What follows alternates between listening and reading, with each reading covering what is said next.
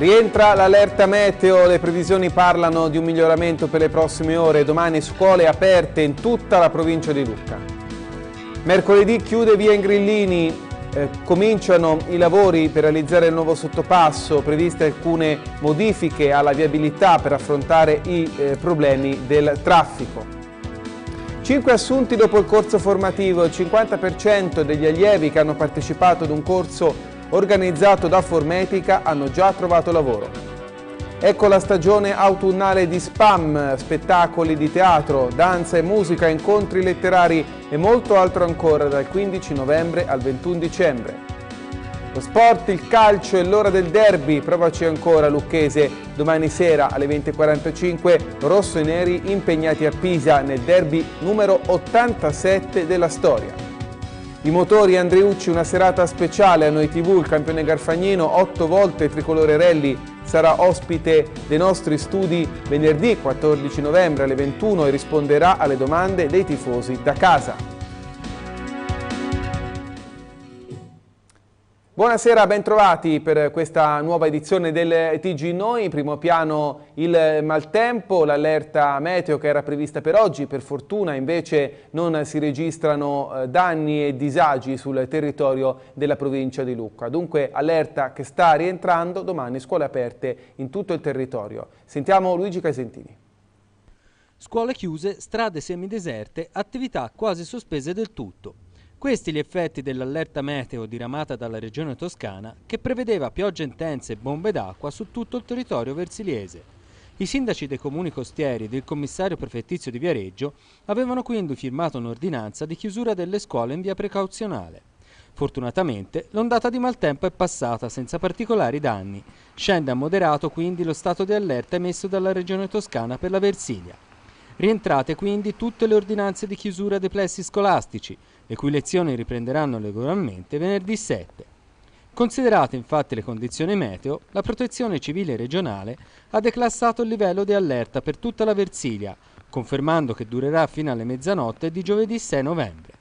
In alcune zone si sono comunque registrati ristagni d'acqua e tracimazioni del reticolo idraulico minore, a causa delle comunque forti precipitazioni della seconda parte della mattinata. Viene invece confermata l'allerta di tipo moderata a Minucciano mentre diviene ordinaria la criticità che interessa il resto della Valle del Secchio, Lucca e La Piana. Si è riunito questa mattina a Lucca il Comitato per l'Ordine e la Sicurezza Pubblica dedicato alla situazione nel comune di Viareggio. Le varie forze dell'ordine hanno garantito la massima attenzione tra i progetti è stato esaminato quello finanziato dalla Banca della Versilia, Lunigiana e Garfagnana che prevede l'installazione di telecamere di videosorveglianza finalizzate a supportare l'attività delle forze di polizia. Il commissario prefettizio di Viareggio ha annunciato un maggior controllo da parte della municipale.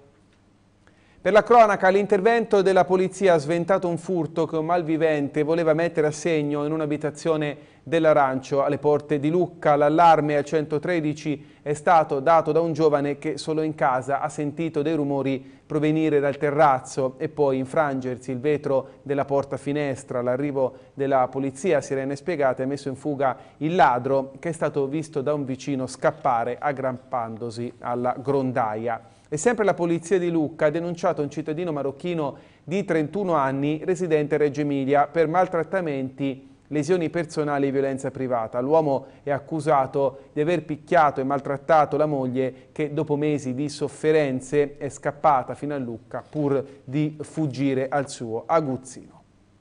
I carabinieri di Gallicano hanno denunciato quattro persone per un furto di generi alimentari avvenuto in un supermercato della zona.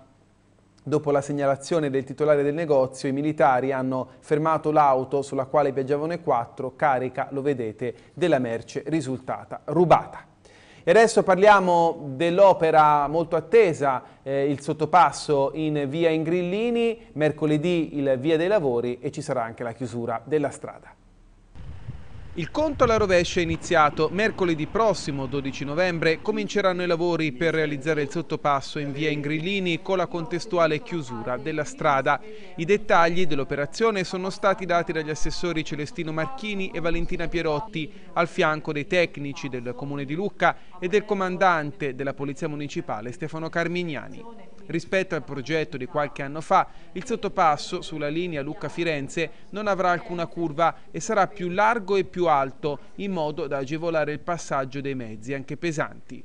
Via dei Macelli non sarà più collegata a via Ingrillini, ma si congiungerà direttamente a via San Filippo. Tempo di realizzazione un anno e mezzo. Un'opera importante che eh, consente due cose nello stesso momento, di rendere molto più eh, fruibile il traffico merci lungo la linea ferroviaria e allo stesso tempo anche il traffico veicolare lungo la viabilità della zona, eh, quindi un'opera su cui noi abbiamo chiesto una modifica al progetto alle Ferrovie dello Stato, eh, quindi è stato concordato con loro un progetto migliorativo molto più rettilineo, più fruibile, più accessibile che quindi consentirà nel futuro una, di avere un'opera pubblica eh, migliore rispetto a quella che era stata ipotizzata.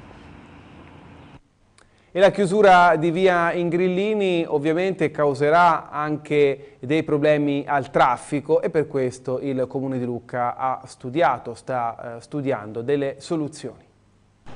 L'inizio dei lavori al sottopasso e la chiusura di via Ingrillini comporteranno dei problemi, almeno iniziali, alla viabilità della zona e così il Comune di Lucca ha studiato delle disposizioni speciali anche perché via Fontanella registrerà un aumento del traffico. I mezzi superiori ai 35 quintali o ai 6 metri e mezzo non potranno più passare da via della Chiesa, via di San Filippo e via Fontanella, ma dovranno utilizzare via l'Europa e poi le altre strade di San Concordio per raggiungere Mugnano. Il tratto di via della Chiesa tra via di San Filippo e via Antonioli diventerà a senso unico con direzione verso via Antonioli. Da mercoledì la Polizia Municipale sarà nella zona per monitorare la situazione. I cittadini potranno inviare le loro osservazioni alla mail strade-comune.luca.it e ogni 15 giorni l'assessore Marchini riceverà i residenti all'ex circoscrizione di San Concordio a partire da sabato 29 novembre dalle 11 alle 12 del mattino. E domani sera alle 21 l'assessore Marchini sarà ospite dello speciale TG Noidido per presentare nel dettaglio il progetto del sottopasso, la viabilità alternativa durante i lavori e per rispondere alle domande di voi telespettatori. Appuntamento domani sera su Noi TV alle ore 21 in diretta. Adesso eh, parliamo di formazione, formazione eh, professionale che riesce a dare i frutti, dunque le persone riescono a trovare lavoro. Vediamo. Formazione e specializzazione per trovare o ritrovare lavoro. La conferma arriva dal percorso formativo di tecniche per il montaggio e manutenzione elettromeccanica organizzato da Formetica, finanziato dalla provincia con le risorse del Fondo Sociale Europeo. 13 allievi hanno partecipato al corso della durata di 454 ore realizzato in stretta collaborazione con le aziende CMG Costruzioni Gambini e Fosber che sulla base delle esigenze del settore hanno individuato i contenuti formativi necessari all'alta specializzazione delle figure professionali. Gli allievi hanno partecipato ad alcuni stage presso una decina di aziende e cinque di loro sono stati già assunti, uno lo sarà nei prossimi giorni. Ecco, noi abbiamo proprio sviluppato questo tipo di corsi mirati sulle esigenze delle aziende proprio per facilitare lo sbocco al lavoro. Ecco, oggi noi siamo qua a dare l'attestato a questi studenti, 13 studenti, che praticamente la metà sono già piazzate nel mondo del lavoro, quindi questa sia l'indicazione primaria di come fare formazione sulla specificità delle richieste delle aziende sia premiante dal punto di vista occupazionale.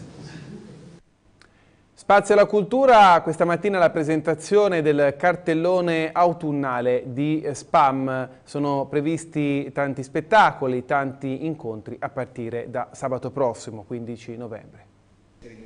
Spettacoli di teatro, danza e musica, incontri letterari e molto altro ancora. Ecco la nuova stagione autunnale di Spam presentata a Palazzo Ducale. Il cartellone, sotto la direzione artistica di Roberto Castello e Graziano Graziani, si intitola Affari Nostri e si svolgerà dal 15 novembre al 21 dicembre.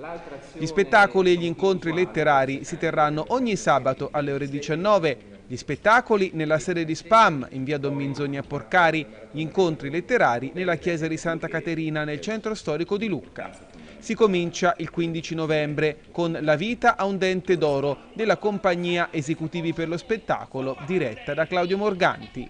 Il 22 novembre il primo incontro letterario Raccontare l'Italia oggi con Nicola La Gioia, Premio Viareggio 2010.